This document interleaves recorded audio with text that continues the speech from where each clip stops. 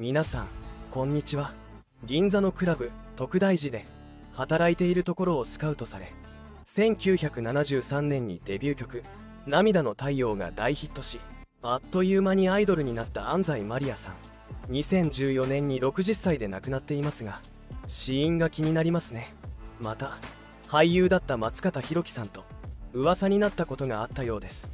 子供や結婚についてまた両親についても見ていきます。まずは簡単なプロフィールから。本名柴崎真理子。生年月日1953年。12月16日。死亡年月日2014年。3月15日。身長 158cm 出身地東京都。最終学歴大東学園高等学校卒業。所属事務所10ポイント。安西マリアさんが歌った「涙の太陽」という歌はエミー・ジャクソンのカバー曲でした。エミー・ジャクソンさんはラジオ関東の DJ 番組アシスタントをしており1965年に「涙の太陽」でデビュー。この曲を大ヒットさせました。1989年には田中美奈子さん。2004年にはメロン記念日が「涙の太陽」をカバーしています。現在もカラオケで歌い続けられている名曲ですね。安西マリアさんが歌う「涙の太陽」は50万枚以上の売り上げを記録する大ヒットとなりました。第15回レコード大賞の新人賞を受賞しています。ハーフのような顔立ちと美しいプロポーションでグラビアを飾り元祖セクシーアイドルといえる女性でした。安西マリアさんのデビュー当時のキャッチフレーズはチョコレートマリアとされていますが灼熱の恋人という話もあります。どちらもぴったりな気がしますね。デビュー当時の忙しさは凄まじく睡眠時間は平均2時間でよく点滴を打って歌っていたそうですよ。そんな安西マリアさんですが1978年に失踪事件を起こします。プロダクション社長が会見を開き安西マリアさんと元マネージャーの失踪を発表しました。マスコミはこの事件をマネージャーとタレントの駆け落ちとみて安西マリアが元マネージャーと恋の逃避業。と大々的に書き立てました。しかし真実は安西マリアさんと元マネージャーの逃避業でも失踪でもありませんでした。勝手に進められた移籍話プロダクション社長によるマネージャーへの暴行これらのことが原因となって安西マリアさんは身を隠したのです。失踪事件と世を騒がせた背景には所属事務所の社長による強要や暴行があったことが分かり安西マリアさん側が被害届を出したことで裁判沙汰になりました。プロダクション社長は逮捕されるも安西マリアさんが法廷で証言した内容は芸能界の闇の部分を暴いてしまったため芸能界にいられなくなってしまいました。しかし失踪事件から5年後にデビュー当時のマネージャーと結婚。そして男の子が生まれました。1999年から芸能活動を再開しライブハウスやディナーショーなどで全国を駆け巡っていました。また安西マリアさん自身がデザインしたジュエリーマリアコレクションを制作するなど精力的に活動していたようです。元気そうに見えたのですが60歳の時に突然病が襲ってきました。2014年2月20日に自宅で胸が痛くなり病院に運ばれた安西さん。急性心筋梗塞になっていたことが判明しそのまま病院で手厚い治療を受けていたそうです。血栓のために血流が途絶えると心筋は壊死してしまいます。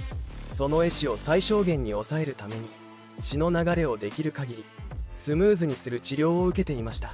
しかし意識は戻ることはなかったと言います。安西さんは搬送されて約1ヶ月後の3月15日にこの世を去りました。最後は呼吸器を外す判断を叔父とマネージャーがしたそうです。安西さんには一人息子がいるのですが知的障害がありました。そのため延命治療についての判断ができなかったと言います。きっと息子を残して旅立つのは相当つらかったことでしょう。1984年に生まれたと言いますから2023年には39歳になっています。安西マリアさんは俳優だった松方弘樹さんと話題になっています。しかしマスコミに2人のゴシップが取り上げられたことはなかったはずです。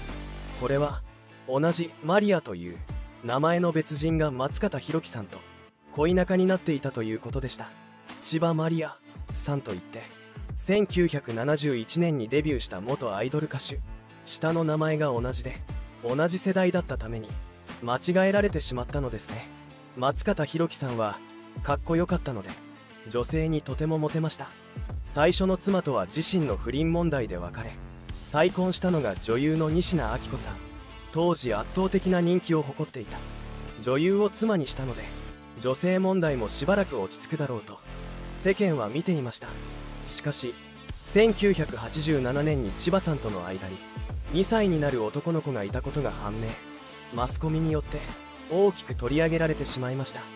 それによって千葉さんは芸能界の仕事がなくなったそうですが2023年現在は女性用の薬物依存症更生施設 SARS 千葉を運営しています。安西マリアさんと松方弘樹さんには何の関係もありませんでした。安西マリアさんは1990年には夫と離婚しシングルマザーとして息子さんを育てていました。息子さんには知的障害があり自活することが困難な状況でした。安西マリアさんは2000年に復帰。2013年にはヌード写真集を出版。息子を置いて死ねないと口癖のように言っていたようで全ては息子さんのためでした。安西マリアさんの父親は航空会社に勤務していたエリートサラリーマン。安西マリアさんは離婚して千葉成田市に住む両親の家に息子と引っ越しました。退職後は皆で東京に移り住んだといいます。シングルマザーになって一人で子供を育てていくことはとても大変です。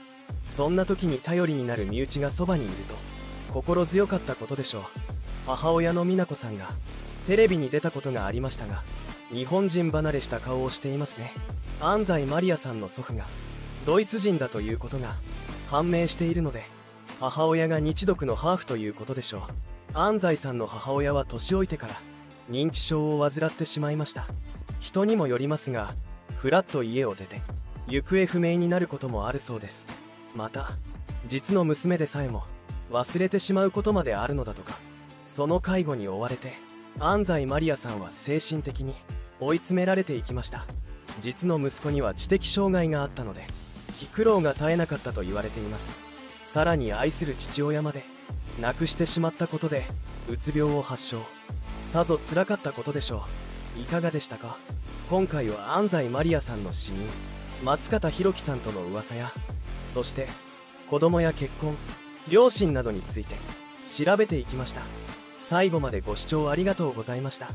コメントを残してくれると嬉しいです。チャンネル登録高評価もぜひお願いします。それではまた。